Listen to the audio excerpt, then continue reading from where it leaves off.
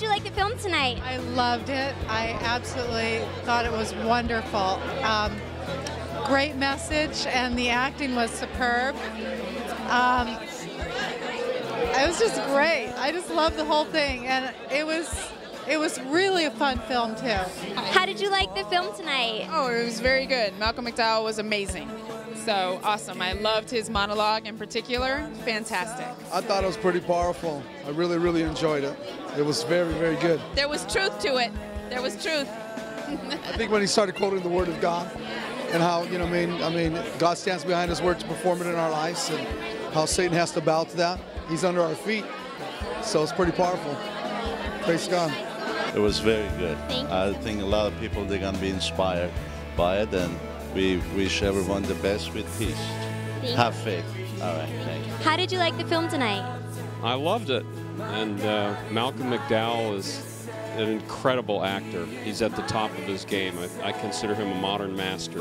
Thank you. Hi, come on right over here. How did you like the film tonight? I thought it was unbelievable to have a film that speaks about Jesus Christ and shed his word. That was good.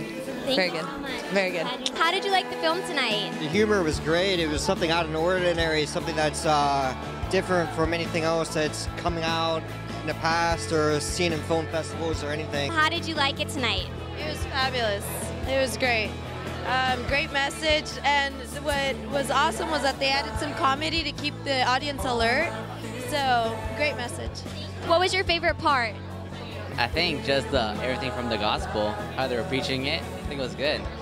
The truth. Kind of see the different perspective of like how Satan, his job is to destroy everything, and and how it was very convincing. Yeah. Thank you guys so much. How did you like the film tonight? Oh, I loved it. It was real. It was just so real. Just nothing plastic about it. It was just so real. That's awesome. Yeah, keeping it real for Jesus. That's awesome. Thank you.